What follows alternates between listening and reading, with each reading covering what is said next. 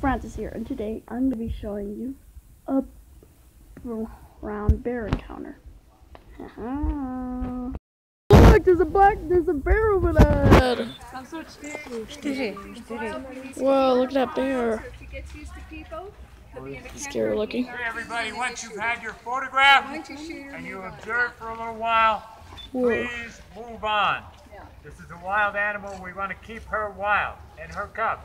We make her nervous. She's not going to be It's just happy. a ranger talking. Well, I guess that's about it for this video. Peace out.